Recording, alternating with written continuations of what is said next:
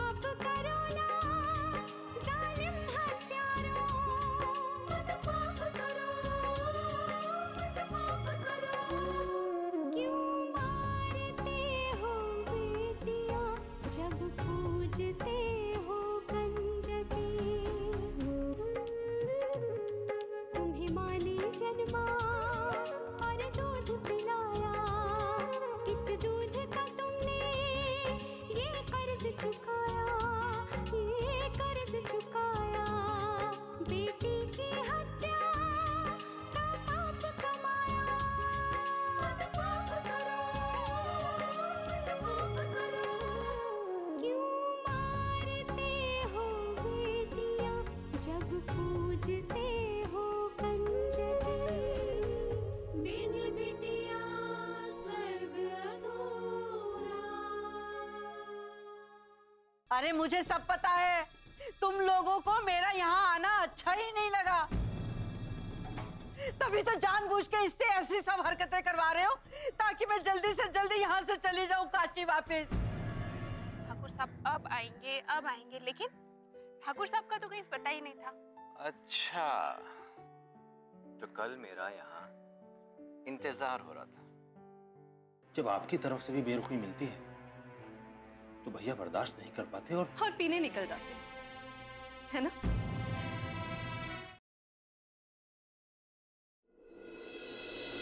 बहुत जिद्दी हैं आप। हाँ वो तो हूँ।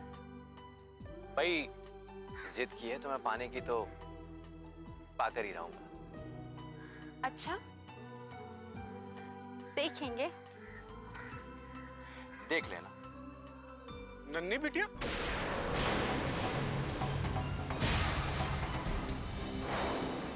तुम यहाँ क्या कर रहे हो? काका वो ये मैं मैं इनसे बात कर रही थी। कौन है? जी मैं मैं इनका दूर का रिश्तेदार हूँ। अच्छा तो आप भी ठाकुर है? जी। कहाँ रहते हैं? मैं मैं मैं बाहर रह- अ, देश देश के बाहर रहता हूँ। अच्छा अच्छा। तो हवेली हो आए आप? जी जी। हाँ जाकर आया हवेली। हाँ,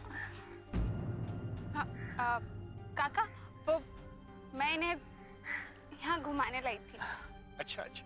बिटिया दो दिन से कार्यालय नहीं आई। बहुत काम पड़ा है। ओ हाँ वो वो काका मेरी ना तबीयत ठीक नहीं थी लेकिन कल कल आऊँगी मैं ज़रूर आऊँगी। ठीक है बिटिया मैं चलता हूँ। राम राम। जी।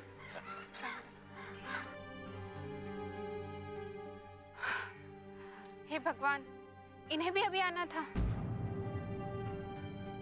नंदिनी इससे पहले कि और कोई आ जाए तुम यहाँ से जाओ। अरे हाँ एक बात बताना तो मैं भूल ही गई। बाबूजी का फ़ोन आया था वो सात आठ दिन में वापस आ रहे हैं। हाँ पता है। घर पर मेरे बाबूजी का भी फ़ोन आया था। सुनिए बाबूजी ने राजेंद्र को वचन दिया है कि वो लौटते ही मेरी शादी उससे करवा देंगे। इसलिए आप अपने बाबूजी के आते ही उन्हें मनाकर मेरे घर ले आइएगा। तुम चिंता मत करो, नंदिनी। मुझे भी इस दिन का बेसब्री से इंतज़ार है। अब तुम जाओ। जाओ। जाओ।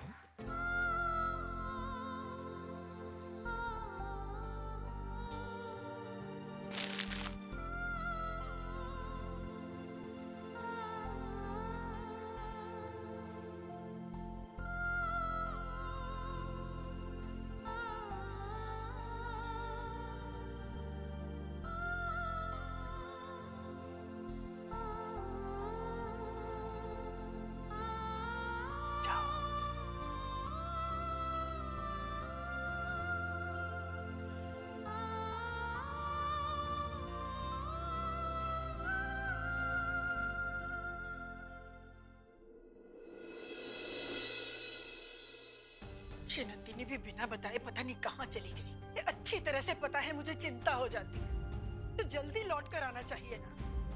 पर नहीं। पूरा दिन निकल गया शाम होने वाली है लेकिन इस लड़की का कहीं कुछ पता नहीं। फूलवती! ओ फूलवती!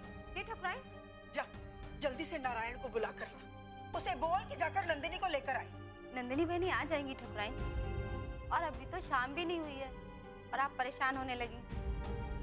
तू अच्छी तरह से जानती है ना कि आज वो बिना बताए और बिना कुछ खाए पिए घर से बाहर निकली है। और गई तो गई अब तक लौटी भी नहीं। और तू कह रही है कि परेशान नहीं हो? शायद उस दिन की तरह किसी सहेली के यहाँ चली गई हो। यही तो बात है ना। इस घर में हर इंसान अपने हिसाब से जीना चाहता है। अरे मैं तो चाहती ही नहीं थी कि नंदिनी बाहर जाकर काम करे। वो तो नारायण ने जिद की तो मुझे भेजना पड़ा। जबकि वो अच्छी तरह से अपने बाबूजी को जानता है। याद है ना? उस दिन नंदिनी कितनी देर से लौटी थी और राजेंद्र ने आकर कितना कुछ सुनाया था? आप परेशान मत होइए मैं छोटे ठाकुर को बुला कर लाती हूँ। क्या हुआ माँ? अरे होना क्या है? देखना नंदिनी आज बिना बताए घर से बाहर चली गई है और अब तक नहीं लौटी। तुम्हारे बाबूजी को पता चलेगा तो तूफ़ान खड़ा कर देंगे। माँ नंदिनी पंचायत के ऑफ़िस ही तो गई है। इसमें तूफ़ान खड़ा करने वाली क्या बात? है मैं जानती थी। तुम इसी तरह से बात करोगे। भूल गया क्या? एक दिन जब नंदिनी मुक्ता की सगाई में गई थी और उसे लौटने में बहुत देर हो गई थी तो क्या किया था तेरे बाबूजी ने?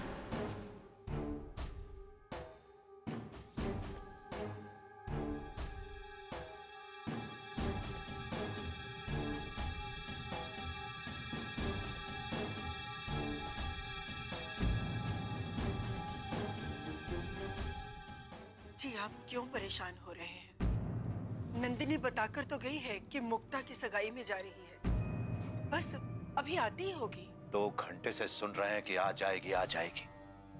क्या खाक आई अभी तक कुछ भी पता नहीं चला उसका।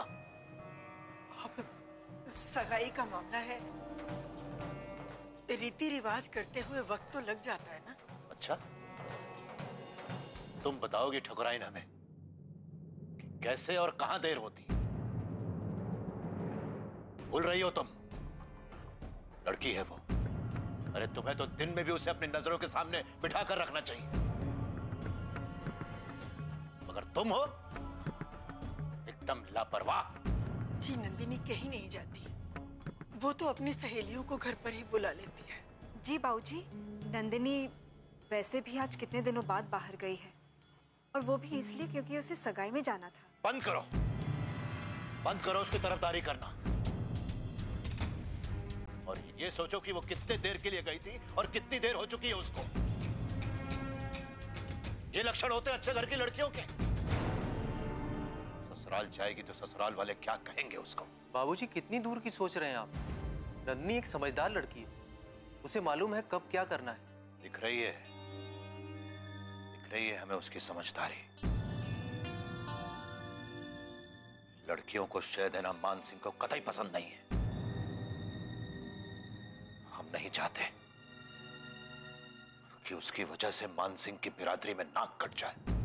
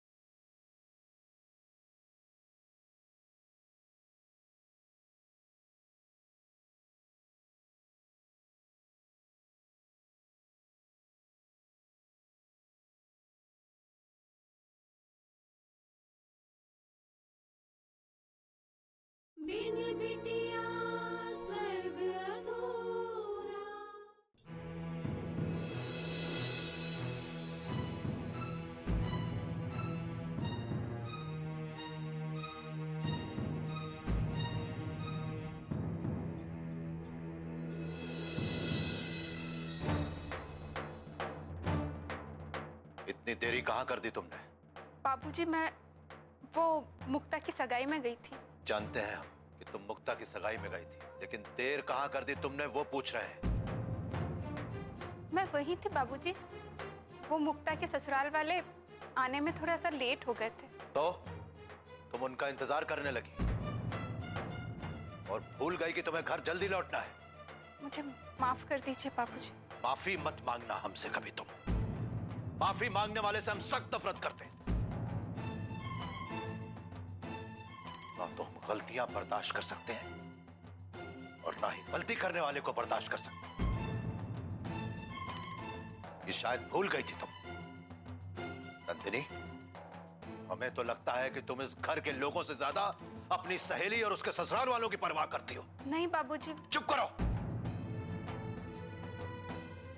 याद रखना आज जो हुआ सो हुआ।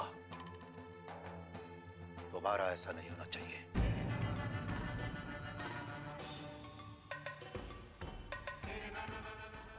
दोबारा तुमने ये गलती दोहराई तो फिर हम अपने ऊपर काबू नहीं रख पाएँगे। दोबारा गलती दोहराने वाले का हम क्या हश्र करते हैं? तुम भी अच्छी तरीके से जानती हो। याद है कि भूल गए? याद है माँ। सब कुछ याद है। लेकिन नंदनी की भी अपनी ज़िंदगी है। बाबूजी उसको उसकी ज़िंदगी जीने क्यों नहीं देते? एक बार नंदिनी विदा होकर इस घर से चली जाए फिर वो जैसे चाहे रहे। जो जी चाहे करे मुझे कोई आपत्ति नहीं। ना मुझे कोई फ़र्क पड़ेगा ना ठाकुर साहब को। मायके वाले तो उसे बाहर जाने नहीं देते। तो ससुराल वाले उसे क्या जाने दें? अब ये सब मैं नहीं जानती। अभी के अभी जाओ और नंदिनी को वापस लेकर आओ। जाओ। ठीक है माँ मैं जाकर देखता हूँ। माँ। कहाँ चली गई थी तू बिना बताए? सुबह से ना कुछ खाया ना पिया ऊपर से तबीयत खराब है तुम्हारी? माँ वो पंचायत कार्यालय में कुछ ज़रूरी हिसाब किताब बाकी रह गया था तो बस वही निपटा रही थी। अब अब अब बेकार में परेशान हो रही हैं। देखा माँ, मैं तो पहले ही कह रहा था। मेरा क्या, दुनिया की हर माँ का यही हाल होता है चिंता से। चल, जा, अभी हाथ मुँह धोकर कुछ खा ले।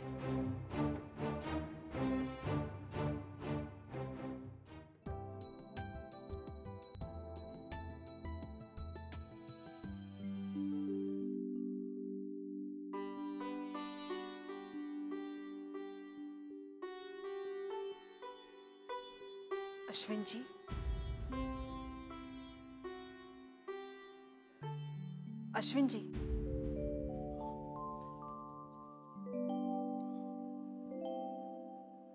चाय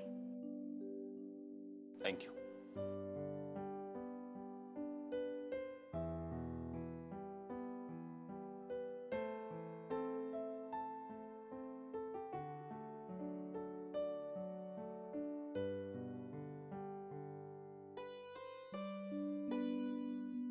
क्या हुआ अश्विन जी क्या सोच रहे हैं कुछ नहीं बस मैं सोच रहा था कि वंदना भाभी ने जो कहा क्या वो सच है? मतलब भैया और भाभी के रिश्ते यूँ ही बेजान से रहेंगे। जब तक दोनों पुरानी बातें नहीं भूल जाते तब तक कुछ नहीं हो सकता अश्विन जी। मगर लक्ष्मी भाभी बिल्कुल इस बात के लिए तैयार नहीं है। देखिए अश्विन जी सबका अपना अपना स्वभाव होता है। हम सिर्फ़ उन्हें मिलाने की कोशिश कर सकते हैं। कदम तो उन्हें उठाने होंगे ना? और वो भी पूरे मन से। पता लक्ष्मी जो चिंता मुझे सबसे ज़्यादा खाई जा रही है वो ये है कि ये दोनों लोग विराज के बारे में नहीं सोच रहे। अरे वो छोटा है तो क्या हुआ? समझता तो सब कुछ है ना। इनकी रिलेशनशिप का उस बच्चे के मन पर क्या असर पड़ेगा? ये लोग नहीं समझ पा रहे। आप इतना मत सोचिए अश्विन जी। आप कोशिश कर रहे हैं ना उन्हें मिलाने की? कोई ना कोई परिणाम ज़रूर निकलेगा। और जो भी होगा सब अच्छा होगा। काश। काश ऐसा ही हो। ऐसा ही होगा अश्विन जी। आइए भैया। भैया बैठिए मैं आपके लिए चाय लाती हूँ। नहीं नहीं लक्ष्मी मुझे चाय नहीं चाहिए। अश्विन मुझे तुमसे कुछ बात करनी है।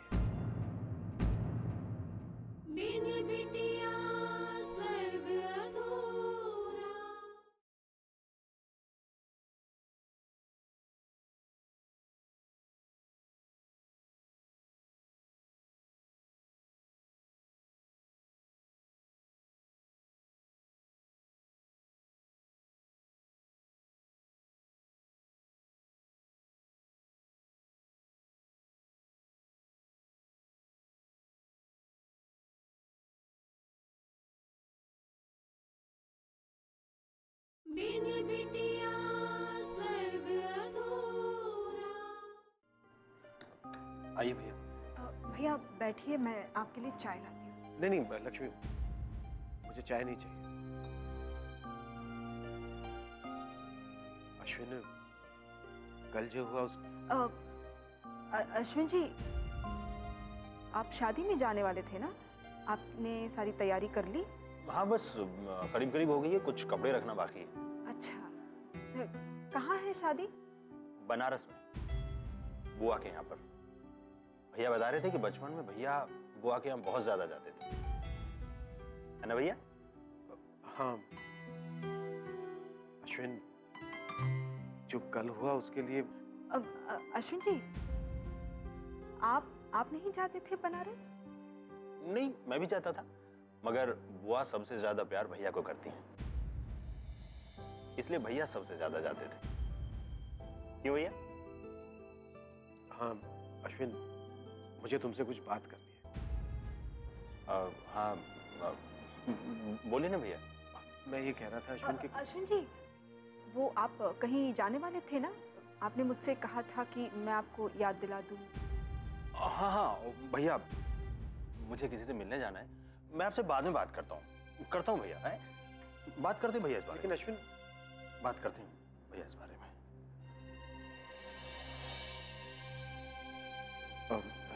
लक्ष्मी? वो प्रति भैया मैं जरा छत पर जा रही हूँ। कपड़े सूख गए होंगे उन्हें लेकर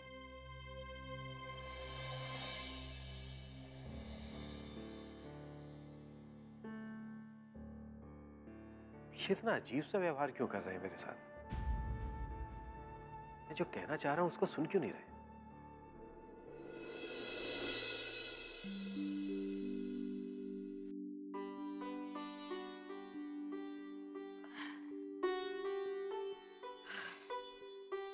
शाम होने को आई है। रात होने से पहले पूजा कर लूँ। और बहू को भी खाना बनाने के लिए कह देती हूँ। सुशीला? जी माँ जी। बहू आज एकादशी है। वैसे राम जी भला करे मिठाई तो मैं ले आई हूँ लेकिन खाने का भी भोग लगेगा इसलिए तुम खाना बनाना शुरू कर दो। जी ठीक है। रसोई अच्छे से धो लेना। अब जूठ वूठ का ध्यान रखना। जी मैं ध्यान रखूँगी। अ, अ, लेकिन खाने में बना क्या रही हो? हम्म, आलू गोभी की सब्ज़ी दाल रोटी और चावल। अरे तेरा दिमाग खराब हो गया। एकादशी वाले दिन कोई चावल खाते राम जी भला करे तेरे मायके वालों ने सिखाया नहीं तुझे? अरे एकादशी वाले दिन चावल खाने से धन की संपत्ति की सौभाग्य की सबकी हानि होती है। माफ़ कर दीजिए माँ जी मुझे पता नहीं था। अरे तुझे पता है क्या? सब भ्रष्टवाड़ा फैला रखा है। अरे कोई नियम कानून है ही नहीं। अरे मुझे तो लगता है ज़रूर तुम लोग एकादशी वाले दिन चावल खाते रहे होंगे। तभी तो इस घर का वारिस नहीं पैदा हो रहा है। अरे अब यहाँ खड़े खड़े समय क्या बर्बाद कर रही है? जा जाके खाना बनाना शुरू कर। जी। जी भला करे। मैं भी मुँह हाथ धोकर पूजा की तैयारी शुरू करती हूँ।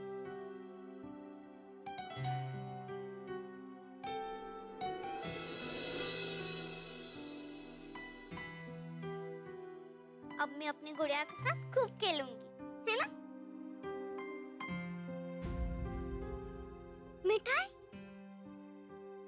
मिठाई खाएगी?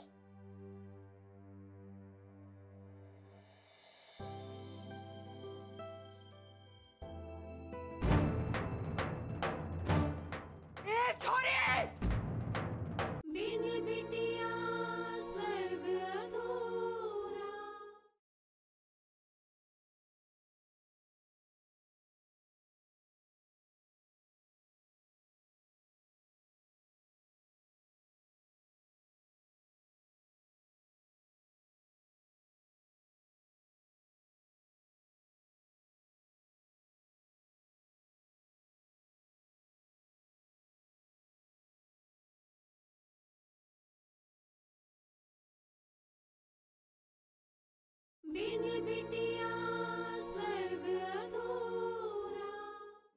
गुड़िया मिठाई खाएगी?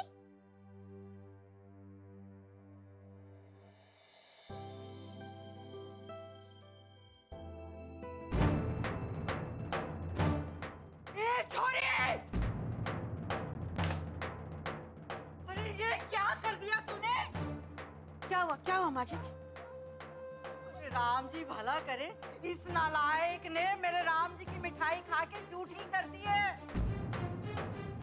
मुझे तो ये समझ में नहीं आती कि मेरे पीछे क्यों पड़ी है आखिर?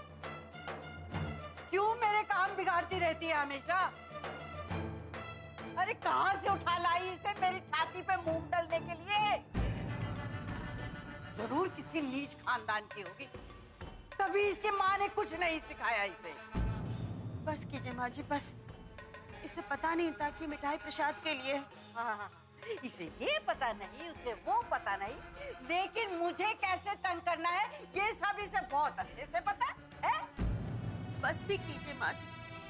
मैं अभी बाज़ार से दूसरी और मिठाई लेकर आ जाऊँगी इसे इतना मत सुनाइए पहले से ही डर के मारे इतना रो रही है। हाँ, ये तो अपने टेस्ट में के तेरा मन पिघला देगी काम होने को है। राम जी सबका भला करे लेकिन भोरा पर देख लेना तू हाँ। बस कीजिए माँ जी, इस नन्ही सी जान को इतनी बददुआ देकर आपको क्या मिलेगा? अरे, मैं तो उस दिन को कोस रही हूँ, जिस दिन मैंने यहाँ आने की सोची। सोचा था कि चार दिन अपने बहू बेटे के साथ चैन से गुजारूँगी लेकिन यहाँ यहाँ तो कुछ और ही देखने को मिल रहा है। चुप मत- चल बे चुप हो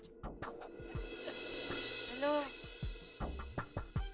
हाँ, हो गया काम। अब ये वहाँ बैठ के इसके आँसू पोछती रहेंगी। और बन चुका भगवान जी का भोग। राम जी भला करे।